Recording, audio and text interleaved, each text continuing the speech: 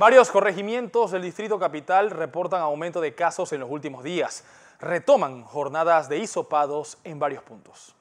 Los corregimientos que marcan aumento de casos son Betania, Bellavista, San Francisco, Parque Lefebre y Juan Díaz, informó la Dirección Regional de Salud, y por esto retomaron un operativo de toma de hisopados en este caso, en el corregimiento de Juan Díaz.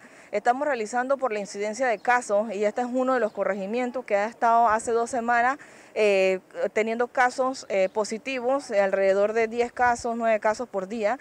Entonces, dentro de los cuales nos encontramos en un sector de la misma la comunidad en donde tenemos eh, varios casos activos, entonces por los cuales entonces estamos haciendo el barrido a los contactos estrechos y al resto de los habitantes que están aquí en este sector de, de Juan Díaz.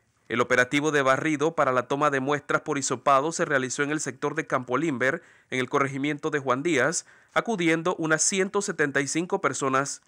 Bueno, definitivamente sabemos que el nivel de contagios está subiendo y Juan Díaz pues aparece en todas las listas y ha despertado pues la preocupación para nosotros y para los residentes del corregimiento. Entonces pues coordinamos con el MINSA eh, jornadas de hisopados durante esta semana en áreas donde se presentan varios casos, de manera de ir detectando y controlando un poco esta situación.